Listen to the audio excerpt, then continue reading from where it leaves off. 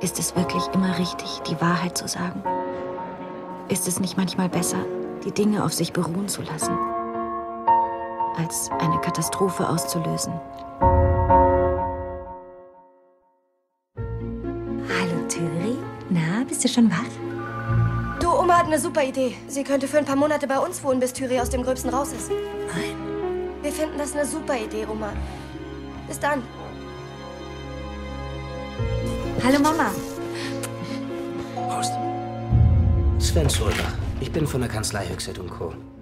Kann ich Katrine Evensen sprechen? 1969 wurde eine Frau in der Ostsee aufgegriffen. Sie sagte, sie sei aus der DDR geflohen, um ihre norwegische Mutter zu suchen.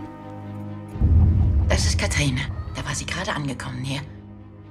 Die Stasi war überall. Die haben Flüchtlinge auch im Westen verfolgt. Warum hast du mir nie was davon erzählt? Du wirst deinem Mann sagen, dass du einen anderen liebst und mit ihm das Land verlassen wirst. Und wenn ich es nicht mache? Ich sehe doch, dass mit dir was nicht stimmt. Ich kann's dir aber nicht sagen. Ich habe da was bekommen aus Deutschland. Es hat mit deiner Familie zu tun. Ich bin's, Katrine. Hier ist Vera. Ich bin in Gefahr. Wo warst du? Du steckst tiefer drin, als du dachtest. Dass sowas passiert,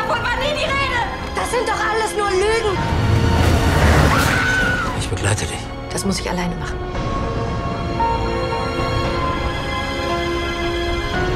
Ich heiße Katrin Evensen. Wer bist du dann, Mama?